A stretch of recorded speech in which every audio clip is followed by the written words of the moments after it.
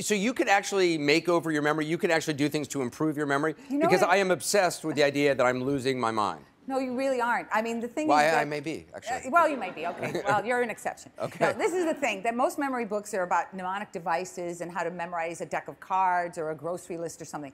This is really a book about how to tap into your past and remember things with prompting questions, exercises, quizzes, questionnaires, things that maybe you didn't think this way. I know how my memory works, so the challenge in this book was to say, okay, these are things that I kind of do naturally with my memory. So now maybe if I turn them into exercises that other people can do, they will be able to go back. Because let's face it, your story is in you, whether or not you're acknowledging it, and it's making you do things anyway. So why not remember the past so you can bring it forward to inform the future? So can you use memory to help lose weight, for instance? Oh, absolutely. I know that I did that. Once I found How- a better way of eating.